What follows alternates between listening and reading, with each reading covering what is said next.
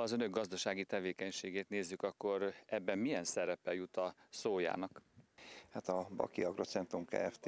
a Zala megyei területen a legnagyobb integrátor, és természetesen, hogy a szója belekerült a, a vetésforgóba, vetés szerkezetbe, hát azt lehet mondani, hogy 5-8 éve körülbelül. Addig is szerepel, de olyan pár száz hektáron, ma már elmondhatjuk, hogy 4-5-6 ezer hektáron, és az országos vetésterületet nézzük, akkor volt olyan év, hogy a 10%-át is elérte.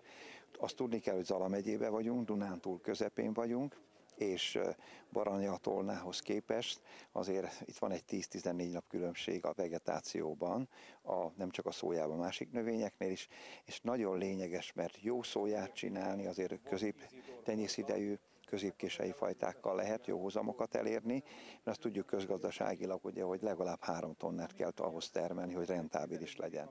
Sajnos Dala nem dicsérkedhet ilyen termésátlagokkal, ez az elmúlt években az 1,8-2,3 alakult átlagtermésben, megyei átlagban, de már vannak olyan termelőink, akik két és fél, három, három és fél tonnát is tudnak üzemi szinten előállítani, megtermelni. Ez azt jelenti, hogy van perspektíva, van lehetőség.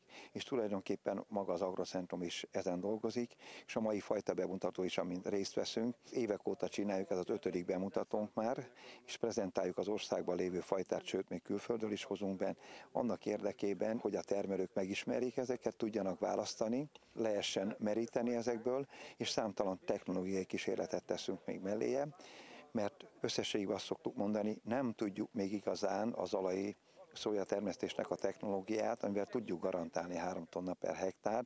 Nyilván ezt többét átlagába értjük, hisz az időjárás az évjáratokat ugye jelentősen meghatározza.